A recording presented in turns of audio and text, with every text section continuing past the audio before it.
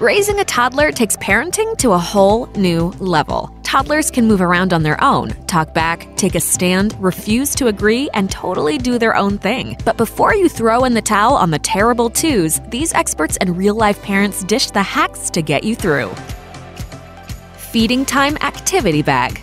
If you're wrangling more than one little one, things can get tricky. Keep your toddler occupied while you're feeding your infant with a Feeding Time activity bag. Crystal Rogers Nelson, parenting and child safety expert for a secure life and mom of a three year old, says the bag could include things like sticker books, coloring books, fun puzzles, modeling clay, or finger puppets. The key is that your toddler can only play with it during baby's feeding time. This helps your toddler feel special instead of jealous and gives you a chance to focus on your baby. Yes or no?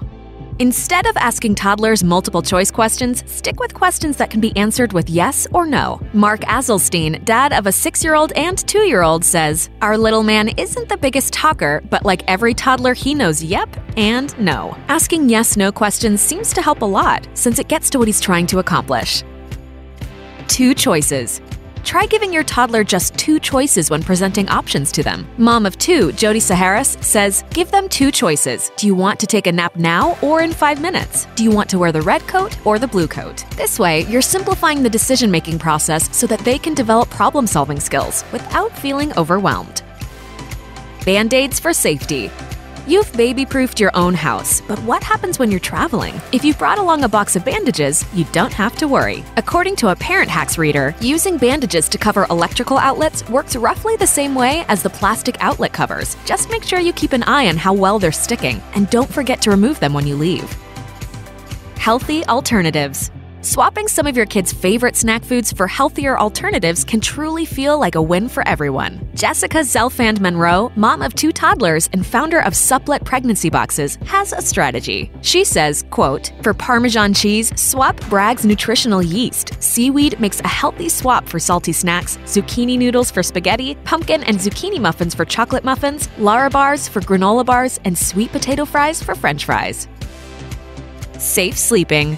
You can use things you already have lying around the house to make your child's transition from crib to bed much easier. According to a Parent Hacks reader, rolling up a towel or blanket and sticking it underneath the fitted sheet of your child's bed keeps them from rolling out of it. And it even works while you're traveling. Nap time?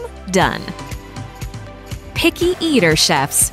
Cooking with kids can be especially helpful if your little one is a picky eater. Mom of two, Jennifer Usher, says, My daughter has become a pickier eater as she's grown older. To help combat this, she helps make some of her meals. I put all of the ingredients in measuring cups and then she adds them to the mixing bowl. She cracks the eggs for breakfast, mixes her own pasta sauce. It keeps her engaged and more excited to eat what she has prepared.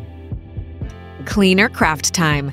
As if you needed one more reason to hit up your local Starbucks, according to blogger Michelle Seibert of Be Brave, Keep Going, empty iced coffee drink cups can double as neat paint receptacles for craft time. Simply pour some paint in the bottom of the cup, fasten the lid, and stick a paintbrush where the straw would normally go. Craft on!